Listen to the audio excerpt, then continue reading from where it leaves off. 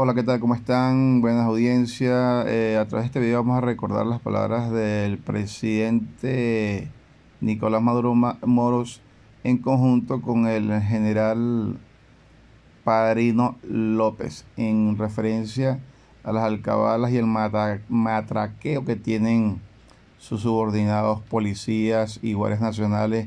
Y bueno, pare de contar. Escuchemos a ver las trabas que se le ponen en alcabalas al pueblo de Venezuela. Vamos a actuar de otra manera, de otra manera, con el 7 más 7 amable, consciente.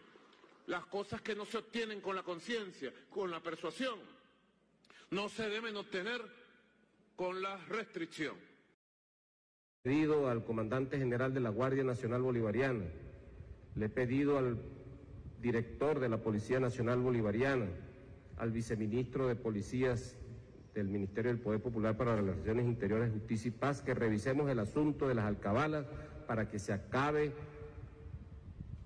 todo este sistema perverso también que se, se, se, confunde, hacen una masa gris para molestar al pueblo en las alcabalas, en los puntos de control. Esto es lo que dicen estos supuestos líderes, jefes que mandan.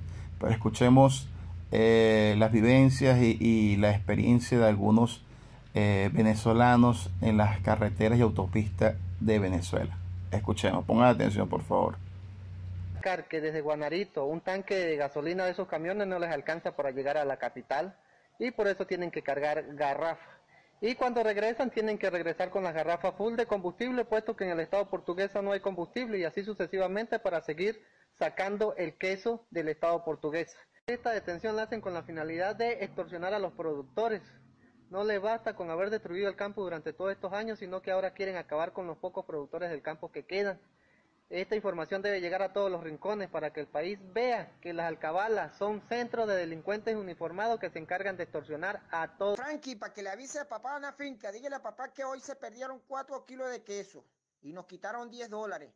No se puede trabajar ya en esta vaina. Aquí en el Alberto Adriani, en el Vigía, dígale a papá, porque papá como lo mantiene en Mérida no sabe lo que sucede aquí en esta verga y él cree que uno le está robando el queso. No, la Policía Nacional nos quitaron hoy 4 kilos de queso. Es alarmante, chamo. Ya no se puede trabajar en este país. Y eso que el ministro y el presidente Maduro dijo que, que las arcabalas se acabaran aquí en Venezuela. Y ahora aquí en Mérida, en el Vigía, en el estado Mérida, el Vigía, la Policía Nacional de Tránsito nos ha quitado 4 kilos de queso y 10 dólares. Entonces yo llegué y le dije que las arcabalas ya por el ministro y por Nicolás Maduro había dicho que se eliminaban las arcabalas y ellos me dijeron que Maduro y el ministro mandaban en Caracas y ellos mandaban a ir aquí, que ellos aquí eh, mandaban y que aquí nadie les tenía que decir nada. A mí casi que me llevan preso porque me les alcé y dije que las arcabalas están eliminadas y ya esto no se aguanta, chamo, yo no sé qué hacer. Ahora vamos a tener que unirnos todos los, agricultores, los que andamos ahora en moto, porque es que ahora ni para decir que los haciendados o los finqueros andamos en, en samurái como era antes, que eran de los adeptos los copellanos que andaban en samurái y eran los ricos de antes, no. Ahora a los agricultores y los haciendados andamos en motico y esos son los que paran todos los días. Los fiscales de tránsito de Buenos Aires del estadio pues, viven parando a todos los motorizados. Venga de donde venga, lo paran a la derecha y si tienen la licencia, lo carta médica vencida, alguna verga, por ahí se agarran. Cállate la gente. Ya escucharon, señores, eh, a través de estos audios y videos, eh, después del anuncio del presidente Nicolás Maduro y el general Parino López, ya vemos que mm, sus, mm, sus alternos no le han hecho caso en absoluto. Incluso eh, hay uno donde dice que Maduro y Parino López mandan en Caracas y ellos mandan en Táchira. Imagínense hasta dónde podemos llegar. Eh, también recordemos una vez, el 11 de octubre de hace cuatro años, cómo la Guardia Nacional roba descaradamente a un reportero español el español se acerca a una comandancia de la Guardia Nacional y enfrenta a los mismos en donde le dicen su propia cara que son unos ladrones. Le indica la Guardia Nacional Bolivariana son unos ladrones. Le dice toda la verdad en su cara a estos militares o a estos guardias nacionales y los cuales los mismos les da igual. Observen el video. Me robó la Guardia Nacional Bolivariana. Iba con la Cruz Verde, debidamente acreditado y con mi casco de la Cruz Verde. ¿Con quién tengo que hablar yo? ¿Quién me va a hacer que recupere ese equipo? Me robaron dos cámaras digitales, un iPhone, otro teléfono. Me robaron la cartera. Me robaron 4.000 bolívares de mierda que llevaba.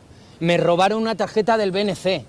Me robaron hasta el protector solar. ¿Quién me devuelve eso? Fueron unas rapiñas, unas hienas. Y me golpearon tengo heridas. ¿Quién? ¿También tengo que hacer los trámites? Igualmente para... O sea, y, no, no sois, vosotros no sois capaces de controlar a, vuestra gente. Les voy a explicar algo. Nosotros somos aquí una unidad administrativa. Bueno. Nosotros tenemos, tenemos unidades operativas donde usted puede dirigirse fácilmente y colocar su denuncia. Y eso va a ser tramitado por allí. Pues yo quiero que me deis eso, pero estoy totalmente seguro de que no va a ir a ningún sitio, porque no está yendo a ningún sitio, porque no soy el primero, desgraciadamente, ni el último pero quiero que sepáis cómo se, convierte, cómo se comporta la gente que mandáis vosotros. No, son, no están salvaguardando ni los derechos fundamentales, ni la libertad de expresión para los periodistas, ni nada. Estáis siendo, no digo vosotros, no voy a incluir, pero la gente de ayer eran delincuentes, malandros, como decís aquí, ladrones, Guardia Nacional Bolivariana, ladrones. Y suerte que tuve, que, saqué, que pude sacar en un momento de la agresión mi carné de prensa internacional. Si no, no sé qué hubiera sido de mí. O sea, que quiero que sepáis la gente que estáis mandando. Y yo no sé si mandáis vosotros, pero alguien le dará esa orden. Y si no le da esa orden, me parece que estáis haciendo vosotros un trabajo horrible porque no sois capaces de controlar a esa mafia, a esas bandas. Quiero que lo sepáis. Si no lo sabéis, mal porque no lo sabéis. Y si lo sabéis, casi peor porque entonces sois cómplices.